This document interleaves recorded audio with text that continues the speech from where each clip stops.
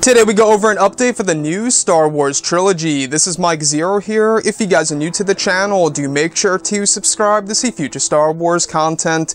Now as you all know, Ram Bergman and Rian Johnson are hard at work at the new Star Wars trilogy, which is aimed for release at some point in time in the mid-2020s. They're actually going to begin writing the script in late 2018 and is aimed for completion in mid-2019. Now looking at all of this in a recent interview with the Flickering Myth, Rian Johnson was able to talk a little bit about his new trilogy when they were questioning him about the whole entire concept of genres, how, for example, Rogue One is a war film, Solo is going to be a Western, and looking at the original trilogy, it's a mixture of many genres. And they were asking Rian Johnson about all of this and how that will be in his new Star Wars trilogy.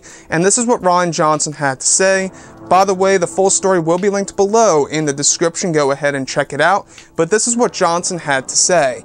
He states, the original Star Wars was a mixture of so many different genres at once, and I think that has always been a part of it. The original one mixed everything from space opera serials to westerns to fantasy to samurai films. It was the ultimate genre mashup, and I think that's in the DNA of Star Wars, he goes on to state. In terms of whether the new one will tilt towards one genre, I'm not sure. I'm still in the midst of coming up with it, but the main goal is just to make something that gets to what felt exciting back when the first one came out and we saw it as kids. I want to find the essence of that and what it is if you don't have the iconography of the Millennium Falcon or Luke or the recognizable things. What is the true spirit of that and how do we capture it moving forward into new stuff? So, as you all know, and we have gone over this many times before in the past, that his new trilogy will be disconnecting from everything that we know in the originals and even in the sequels and the prequels.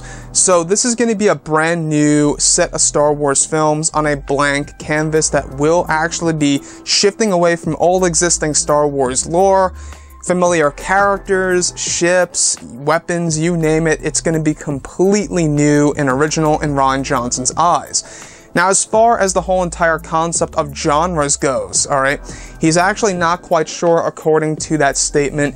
Hopefully he will be able to do something original and very exciting, but like I say all the time, it's very hard to really recapture lightning in a bottle again with the original trilogy. I don't know how you guys feel about that, but trying to recapture the magic of the original trilogy seems like it's going to be a very, very hard task to complete.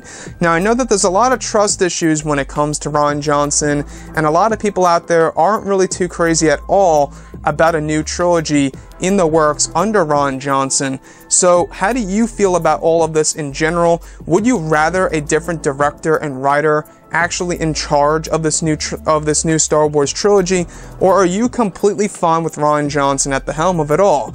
So, looking at all of this, guys, we do know that the future of the Star Wars franchise is very, very long. There's a lot of projects in the works as of right now by Disney and Lucasfilm. We have numerous animated TV series and, of course, live action TV shows as well.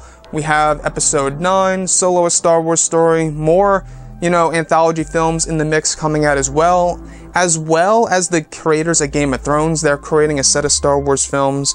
So there's a lot in the works right now, and Rian Johnson's new trilogy is of course just, you know, a handful of what's to come for the future of the Star Wars franchise. So guys, yeah, drop a comment below. Let me know what you think about Rian's statement.